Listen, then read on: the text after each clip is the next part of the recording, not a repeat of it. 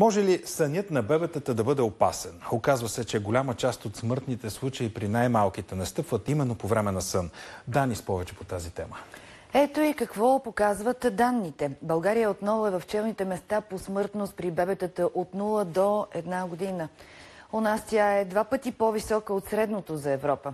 Често това се случва съвсем неочаквано, докато децата спят при сдаване или липса на въздух. Най-уязвими са децата между 4 и 6 месеца. Много от трагичните случаи могат да бъдат предотвратени. В Германия, например, въвеждат специални мерки от началото на 90-те и резултатът е десетократно намаляване на смъртните случаи.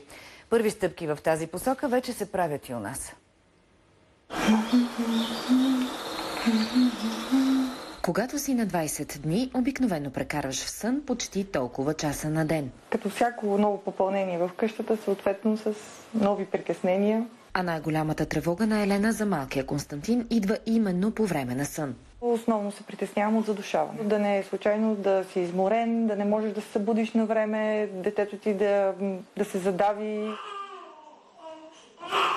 Подобни случаи не са рядкост, признават лекарите. Много често майките в емоцията си прегръщат силно децата и са склонни да заспиват с тях. Изключително неблагоприятно е обаче за детето, защото е възможно да се затвори пътя на въздуха. Майките обаче често получават разнопосочни съвети. И за съжаление все още се информират основно от бабите и от сайтовете.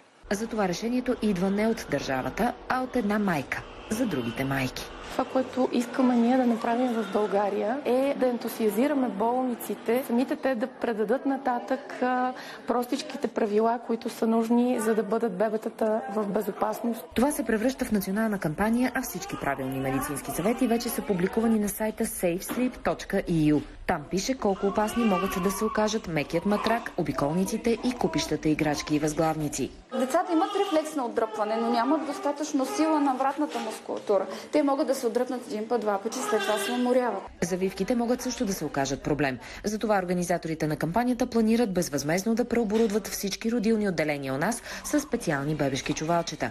Първият партньор на Хоризонта е болница Шейново. Децата се чувстват прегърнати, чувстват се добре защитени. Нацяло ще заместим т.е. на обикновените завивки.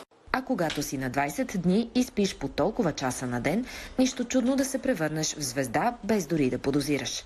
Много се радвам, че го избраха за бебе с кауза. Така, докато сладко си спи, Константин става лице на кампанията за безопасен сън. За новините на Нова, Яна Николова.